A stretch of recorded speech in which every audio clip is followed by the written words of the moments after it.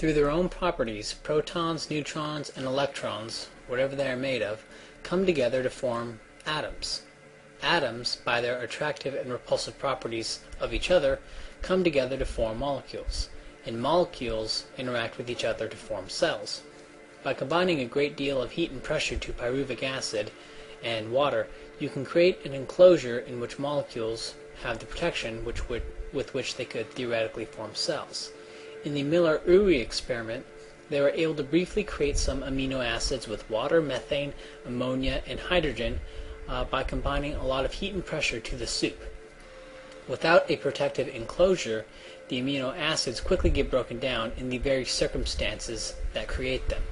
Bob Hazen's experiment with pyruvic acid uh, promises a solution, a protective enclosure. But however they're made, after the cells are formed, some will combine, forming a tissue, such as uh, algae or seaweed. This is a multicellular organism, but with only one type of cell. After that, tissues then combine to form multicellular organisms with multiple types of cells, all through the behavior of individual cells. These simple, crude, crude rule sets of cells results in them forming clumps of the same cells, then big-time life with multiple types of cells. Then the organisms themselves get together to form societies. Things like schools of fish and flocks of birds are formed by the simple behaviors of individual birds and fish.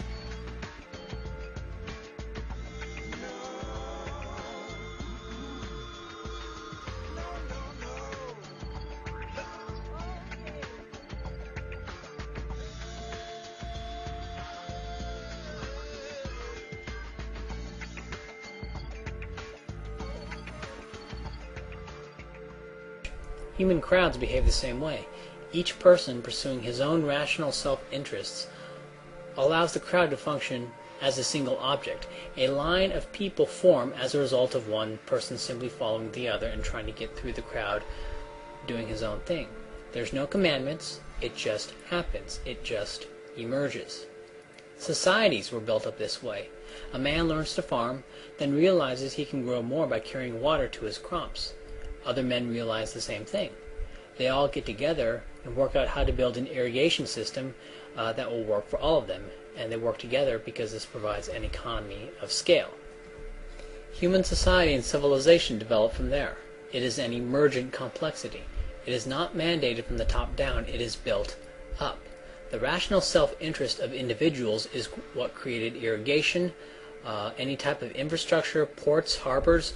Larger ports were made when shipping companies got together out of self-interest to make larger ports and benefit from an economy of scale. Trade networks developed when individuals realized they could make money by taking goods from one area to another. All of the economic advances, the technological advances, were created by the interactions between individuals and their rational self-interest. So what is government? In short, it is a false certainty that stems from the misunderstanding of how the world really works. The first government was created by religion. This is not an accident. The first kings were said to be the embodiment of gods, that they channeled gods or were themselves demigods. This connection to the gods gave them the legitimacy to issue dictates with the mirage of certainty. This is the genesis of the state. It is the fantasy of certainty. It is built on a fundamental flaw in worldview, the flaw being a false assumption of a top-down order, when order simply stems from the interaction between things, be it molecules, cells, animal herds, or humans. The idea that human society must be ordered from the top down stems from the idea that life itself was ordered from the top down. The irony, of course, is that religion and the state themselves result from emergence. Each person wants things to be ordered and nice, and so each individual will take action to make his life ordered and nice. But unlike birds, men can imagine things like angels and gods.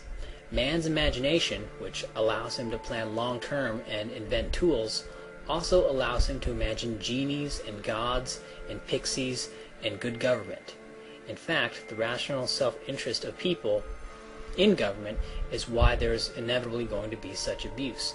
It is in their self-interest to abuse and expand their power and create problems which can then be used as a justification for further expansion. The same principles that predict how life in human societies form also predict how government will abuse its power and also tell us why government came about in the first place. Society is built through voluntary interaction and rational self-interest.